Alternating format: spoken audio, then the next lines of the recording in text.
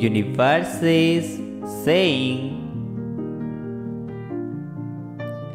Here we are during one of the most important transits of your life. There is a light at the end of the tunnel with an emotional situation in your life.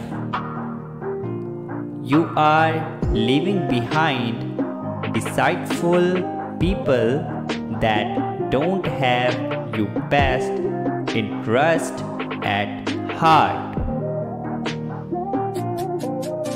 Several energies in your life are being cut out. Anyone that has been manipulative or untrustworthy will be revealed. There is hope coming back to you.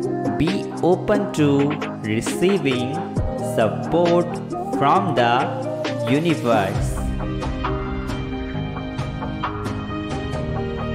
I am seeing you guys being mature and learning to not let others get a reaction from you anymore.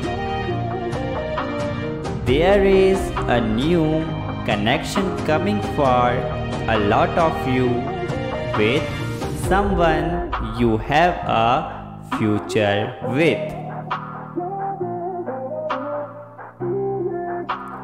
Prosperity is waiting for you, especially with career and money.